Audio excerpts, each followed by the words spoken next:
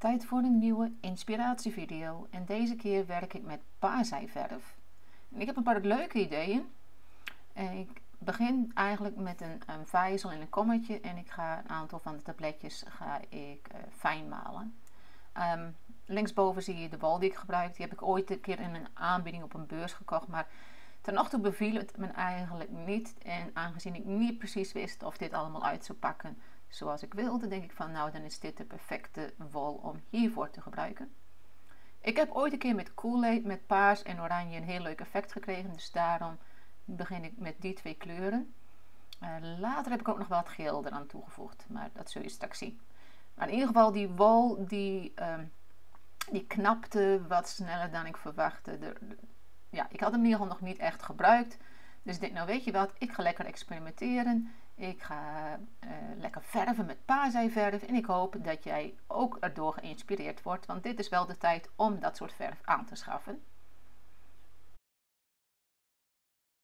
Ik ga van de bolletjes strengen maken. Ik heb deze wolhaspel van mijn moeder ooit gekregen. Die gebruikt hem zelf niet meer. Het is een oudje. En hij zit met touwtjes aan elkaar vast. Maar hij doet het nog goed.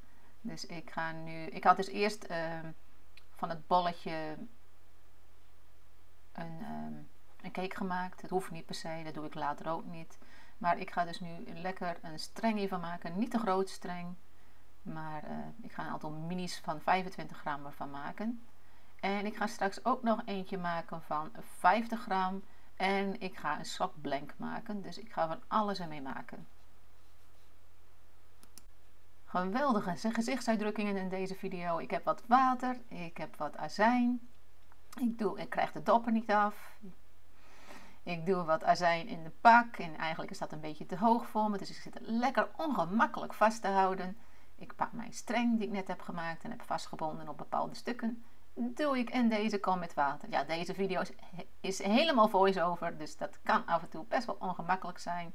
Maar uh, ik doe in ieder geval alle strengen ga ik in ieder geval een uur laten weken in een mengsel van water met azijn. Ik doe op dit moment even de streng toe, dat kun je niet zien, maar dat is wat ik aan het doen was. En nu ga ik uh, van een bolletje nog weer een cake maken. En dat gaat op een gegeven moment gaat het helemaal mis, dus dat filmpje ga ik niet helemaal invoegen. Het was al wat later. En... Uh, nou, ik ga dus nu in ieder geval een, een cake hiervan maken. En dan de volgende stap zie je wat ik daarmee ga doen.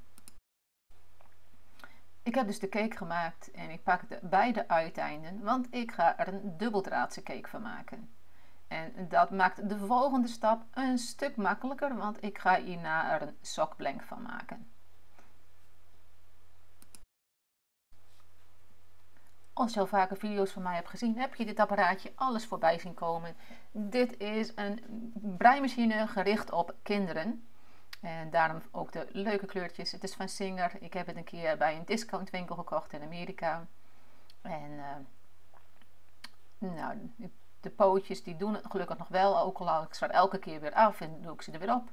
Maar dit is echt een hele uh, leuk apparaat. Geeft een leuk formaat. Uh, ik heb hem op uh, cirkel, dus continu breien heb ik staan. En ik ga dus nu die dubbeldraads cake die ik net had, die ga ik nu verwerken tot een, uh, een cake. En ik ga dit super versneld doen, want uh, ik heb wel, een, wel iets van 10 minuten zitten, zitten draaien.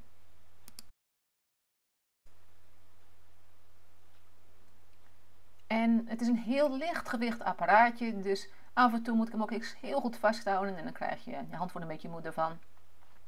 Maar hij, hij, werkt echt prima. Ik heb zelfs een grote gehad, maar die beviel me minder goed dan dit kleine dingetje. Nou, je ziet het gaat alle kanten op. Maar uiteindelijk eh, pak ik de steekknop door een draad doorheen en heb ik mijn sokblink gemaakt. Nou, dan pak ik een hele riks bekertjes bij, want ik ga de tabletjes oplossen. Ik had namelijk twee zakjes met paasaaien verf. Dus dit is het tweede zakje. En ik ga dus nu in elk bekertje doe ik een tabletje.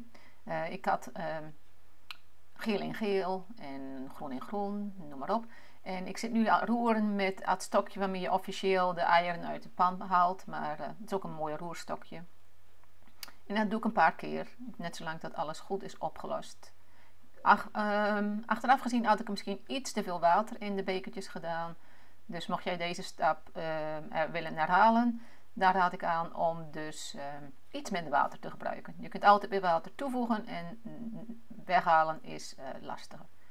Ik leg ze nu even op de goede volgorde, zodat ik weet uh, wat waarin zit. De laatste twee kleuren zijn dus paars en roze.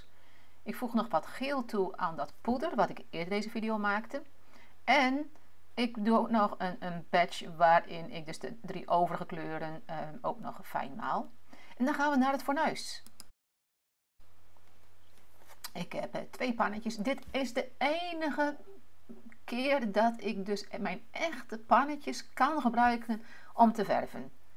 Met alle andere kleurmiddelen doe ik het niet. Alleen met paaseierverf en met voedselkleurmiddel. Daar doe ik het. Eh, ik heb wel speciale verfpannetjes, maar ik uh, wilde even makkelijk doen. Dus ik pakte gewoon mijn gewone pannetjes. Want voedselkleurmiddel is voedselveilig en kan in de pan. Nou, ik heb die beide bekertjes dus met dat, uh, met dat fijn gemalen poeder. Er zijn meer manieren om dit aan te brengen, maar in dit geval strooi ik het voorzichtig over de wol.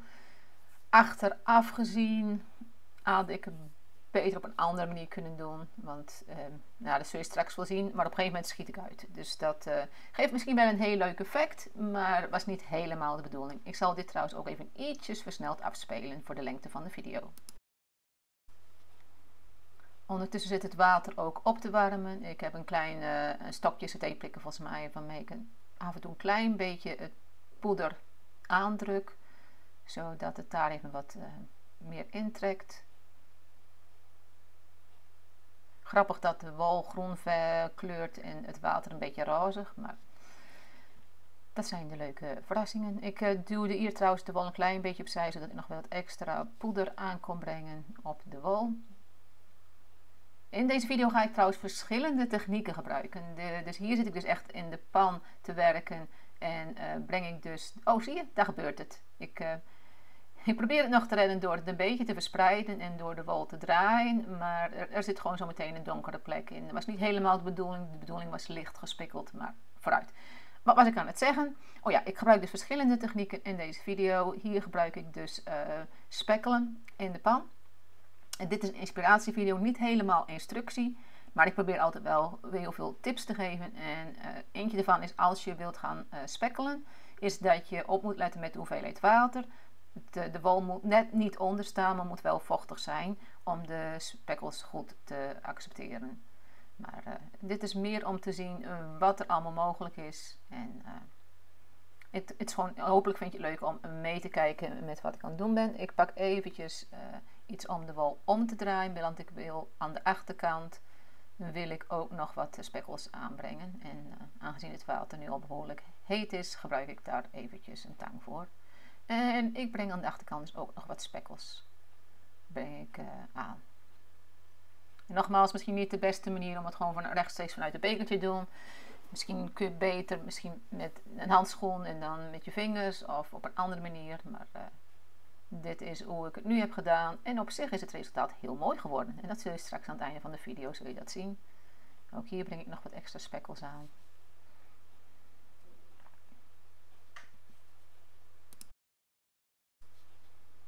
Ik laat het water trouwens niet helemaal koken. Tegen de kook aan, dan even lekker warm blijven en dan goed afkoelen. Nou, mijn volgende techniek, daar zijn de bekertjes weer. En de zakblank die ondertussen lekker is geweekt in het water met azijn. De onderkant is helaas niet in beeld. Dat had ik even niet door terwijl ik aan het filmen was. Maar ik breng dus nu met een foambrush breng ik de kleur aan. Ik heb twee foambrushen die ik afwissel om ehm, te voorkomen dat er uh, kleuren elkaar raken. En ik begin dus van licht naar donker. En aangezien in oranje ook geel is, kon ik rustig van de geel naar de oranje zonder borstel te wisselen. Uh, dan pak ik wel even een andere borstel voor de blauw. En ik maak zo meteen trouwens een foutje. Want ik was eigenlijk van plan om tussen de geel en de blauw de grond te doen. En ik was gewoon lekker al bezig. En toen bedacht ik me, hé, hey, die groen had eigenlijk ergens anders gemot. Dus ik denk, ik maak er gewoon een ander verloop van. Want dat, niemand weet hoe het had moeten zijn. Dus ik doe nu gewoon van groen naar blauw weer naar groen. En dan, uh, dan ga ik daarna weer verder met de geel. Dan pak ik dus weer die andere foam brush voor. Om te zorgen dat de geel wel echt geel blijft. En halverwege maak ik straks ook de borstels eventjes schoon. Om ervoor te zorgen dat ik dus uh, lekker schoon kan werken. Bij deze tenminste. Weet niet of het je net opviel, maar ik ben dus nu aan het schoonmaken met een kleine mini uh, van een paar gram. Om, uh, en die gebruik ik straks ook om alle restjes op te maken. Ik heb nu mijn sockblank omgedraaid. En ik ga nu de achterkant, ga ik dezelfde kleuren uh, op dezelfde plek aanbrengen. deze video, je hebt het waarschijnlijk al wel gezien, dit stukje is ontzettend versneld en dit gewoon vier keer. Maar uh, ik blijf dus gewoon de kleuren aanbrengen. En als ik heel veel viezigheid of drupjes zie, dan maak ik die dus gewoon met dat strengetje wat rechts net uit beeld is. Oeps, daar was ik even te snel en daar kwam dus wat blauw op de geel. Nou, niet meer echt te redden. Voor mij breng ik straks nog wat extra geel aan, maar dat was even jammer. Toch een klein uh, foutje erin. Maar dat kwam, dan wil ik eigenlijk te snel werken. En dan let ik niet op waar... Uh, dan let ik eigenlijk niet goed op wat ik, uh, waar de borstel overheen gaat. En ik had dan beter eventjes over het plastic en dan naar de juiste plek kunnen gaan. Maar daar is helaas nu even niks meer aan te doen. Maar uh, misschien bij het breien of verwerken dat ik er dan wel iets aan kan doen nog. Dat het bijvoorbeeld net aan de achterkant komt. Nou, volgens mij ben ik nu even mijn borstels aan het schoonmaken op de achtergrond. Zodat ik uh, weer lekker met een verse geel, een frisse geel kan werken. Ja, ik heb inderdaad mijn borstel schoongemaakt. Ik breng nog wat extra geel aan over dat groene. Ik zou bijna de verkeerde borstel pakken, zag je dat? Nou.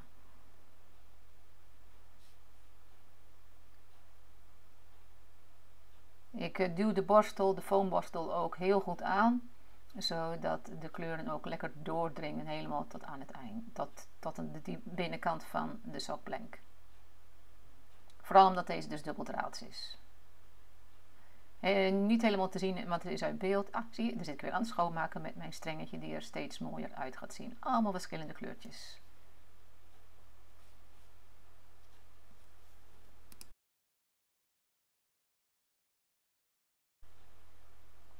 Nou, ik ben nu wel tevreden over hoe deze sokblank is geworden. Dus het wordt nu tijd. Uh, ik pak volgens mij nu op de achtergrond even er een bakje bij om hem in te doen. Ik ga deze in de magnetron ga ik die verwarmen op vol eh, vermogen een paar minuutjes, dan goed af laten koelen en dan nog weer een paar minuutjes. Dus ik probeer hem nu eigenlijk voorzichtig uit beeld in die kom te krijgen. Dat is redelijk gelukt. Dat zul je maar moeten geloven, want dat zie je niet. Ik veeg eventjes nog weer wat dingen op met mijn streng. Ondertussen zit de mesookblank dus in een, um, in een glazen kom. Vind ik zelf heel fijn om te werken in de magnetron. Dus een paar minuten opwarmen en zorgen ook dat er nog vocht in, in zit. Doe eventueel wat extra water in, maar dat er niet, niet droog kookt. Dat is niet aan te raden. Dus wees voorzichtig als je met de magnetron werkt en uh, let goed op op geluiden die je hoort. Uh, doe liever een paar kortere sessies dan uh, te lange sessies. Ik heb ook andere video's die staan in een playlist met verven en als het goed zit er ook eentje bij waarin ik iets dieper inga op uh, het verven in de magnetron. Je kunt het trouwens ook in een ovenschaal doen in de oven. Je kunt het in een pannetje doen. Er zijn verschillende manieren om de wol te verhitten en ervoor te zorgen dat deze dus de kleur goed erin blijft. Dus uh, magnetron is een van de opties. Maar als je die niet hebt of als je dat liever niet gebruikt, dan kun je dus inderdaad dus ook. Zorg dus wel dat er wat vocht in de pan zit. Uh, als je hem in de oven ook doet, en controleer ook regelmatig of de wol nog vochtig is, dat het dus niet droog uh, kookt. En in uh, een pannetje kan dus ook met een bodempje water, net als bij die spekkeltechniek. Dus uh, verschillende manieren. Ondertussen ben ik trouwens een, een streng van 50 gram ook aan het verven. Deze, deze keer in een iets meer regenboog variatie. Alleen aan het einde ja, ik maak ook wel wat kleine foutjes, maar ik, ik wilde deze ook niet te super fel maken. Dus je zult straks ook zien dat ik wat spekkels nog toevoeg en dergelijke. Om deze wat uh, minder fel te maken. Ik, je ziet nu trouwens ook dat ik af en toe mijn foambrush schoonmaak in dat strengetje. Dus als ik dan van kleur wissel en ik heb het idee dat er nog te veel uh, verf in de, in de foambrush zit, dan maak ik die eventjes schoon op dat stengetje. En dan voorkom ik dat ik elke keer ook moet uh, uitspoelen in de kraan. Een beetje uit beeld, maar de, ik had het iets te hoog uh, of te laag opgesteld. Maar ik zit nu aan de onderkant van deze streng ook dezelfde kleurvolgorde aan te brengen. Dus van roze naar paars en straks weer naar blauw. Af en toe pak ik nu ook een bekertje erbij om te voorkomen dat ik drup over andere kleuren. Al is dat eigenlijk niet erg, want straks ga ik er nog allemaal andere kleuren op aanbrengen. Maar op het moment dat ik dit aan het maken was, wist ik dat nog niet. Want ehm, als ik dus op deze manier aan het verven ben, waarin ik gewoon lekker uh, verschillende technieken uitprobeer, dan uh, laat ik me soms ook wel leiden door het moment of wat er op dat moment gebeurt. Ik draai in ieder geval nu de streng om en ik herhaal de stappen uh, voor de andere kant. Dus ook hier uh, breng ik nu weer de kleur aan op diezelfde plekken. Nou, dit stukje gaat nog eventjes extra versneld. Voor mij zelfs wel acht keer. Ik ontdek ook eindelijk dat ik dus uit beeld was. Dus ik doe de streng iets de lucht in, zodat je meer mee kunt kijken met wat ik aan het doen ben. Maar in principe probeer ik alle witte plekken nu op te vullen met de kleur die ik gekozen heb. Je had er ook voor kunnen kiezen om het wit te laten als dat het effect is wat je graag wilt. Ik ontdekte ondertussen ook dat bepaalde plekken elkaar geraakt hadden, waardoor ik opeens zoiets had van weet je wat, ik heb nog spekkels, ik ga lekker spekkels over deze streng heen gooien. Dus ik breng alles een beetje bij elkaar. Ik pak mijn bekertjes erbij met de spekkels. En, want ik kan nog aardig wat over. En je ziet dat ik ook nog genoeg verf over heb. En die ga ik straks ook gebruiken. Maar dat zie je straks.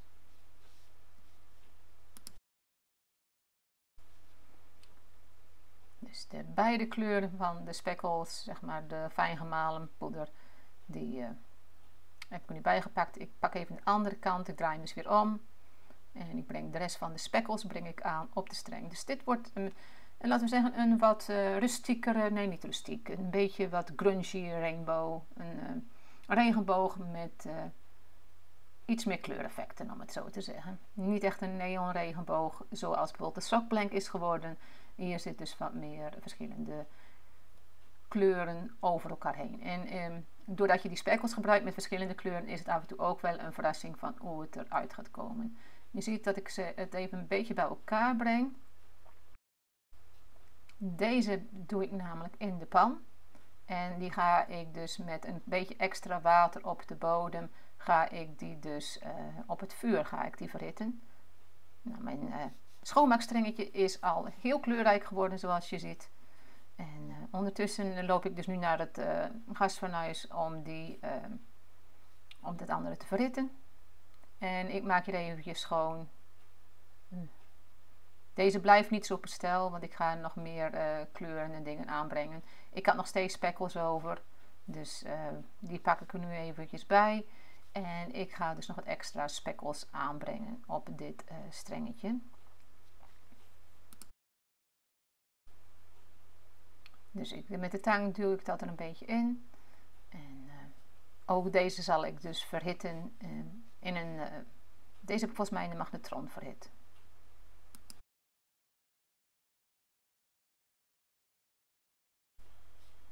Ondertussen ben ik een beetje aan het opruimen. Ik zit al mijn bekertjes ben ik naar het fornuis aan het brengen. Want ik ga alle restanten ga ik, uh, nog gebruiken. Met mijn tang en mijn borstel zit ik nog steeds een beetje aan het schoonmaken. En de laatste bekertjes die ruim ik op. Maar dit strengetje, er zit echt van alles dus in. De laatste resten uit de bekertjes heb ik dus nu rechtstreeks in de pan gegooid. En ehm, gewoon op, op, willekeurige plekken. En dan krijg je toch wel een heel leuk resultaat. En je ziet dat het water ook compleet helder is geworden. Dat betekent alle kleurstof is opgenomen. Oeh, te veel stoom. Maar uh, het is mooi helder nu geworden. En uh, dan wordt het tijd voor resultaten. Hier zijn alles nog nat en bij slecht licht. Heel veel verschillende kleuren zoals je ziet. Lekkere felle kleuren, ook wat rustiger kleuren. En hier nog een hele mooie close-up van de verschillende tinten. Ik ben heel blij met de resultaten. Ik hoop dat je deze video inspirerend vond. Ik, en zoals gezegd, ik heb nog meer verder video's waar ik iets dieper inga op de techniek. Dit was meer echt om te inspireren en te laten zien wat voor kleuren en effecten je kunt bereiken met paarsaaierverf. Nou, ontzettend bedankt voor het kijken en graag tot een volgende video.